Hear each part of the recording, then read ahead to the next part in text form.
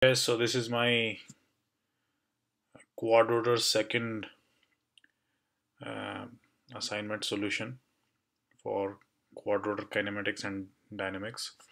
So first thing you have to do is uh, go and run the parameter file. This is where you define your parameters. And these are the quadrotor initial uh, inertial parameters, quadrotor mass. This file will be given to you. This is where you initialize your quad rotor 12 states. I'm starting all of them with 0 so go ahead and run this. Once you run it uh, you can open. And that's my.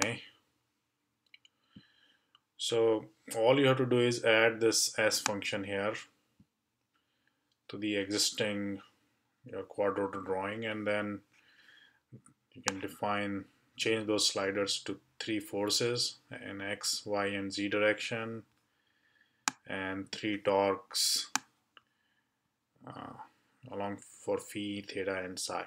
Okay, so let's uh, go ahead and run it. So if everything is right, if all your equations are right, then basically when all your forces and torques are zero, the quad rotor should do nothing. It should basically sit that's that's uh, Newton's law right? So let's see what happens when we start. So when I increase let's say we will play with the our uh, provide some uh, force in x direction. So we'll see that it will start moving in x direction. I go back and change a little bit to minus so it will start coming back. And remember even if I do it to zero it, it will not stop because there is no drag or nothing to stop it. If you have to stop it you have to basically again make it positive to go front. So again it will decelerate and then start accelerating. Okay so that's for x direction. I'll restart it so because so that it initializes back. Same thing will happen in my F. If I also put so it will start moving in 90 degree. So maybe we'll start with 0 here otherwise it always starts. Okay so let's make it 0 as well and then restart it. So that's so if I want to move in y direction that's my east direction. Come back in east direction.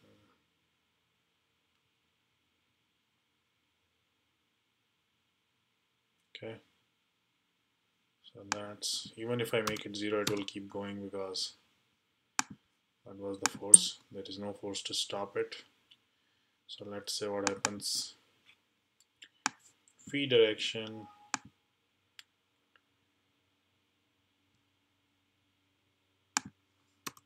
Start at first.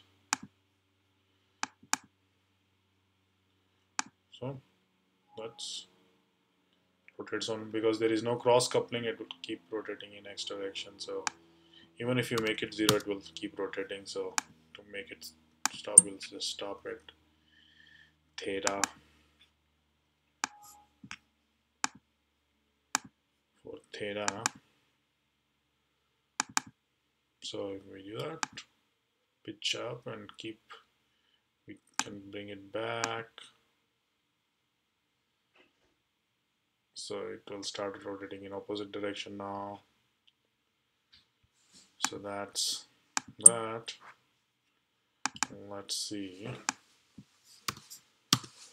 Start it again. Uh, to check our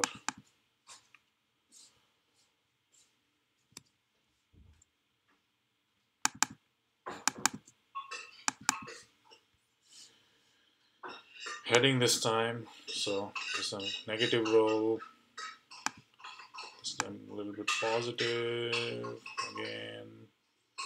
So it will start back. Even if you make it zero it will keep rotating.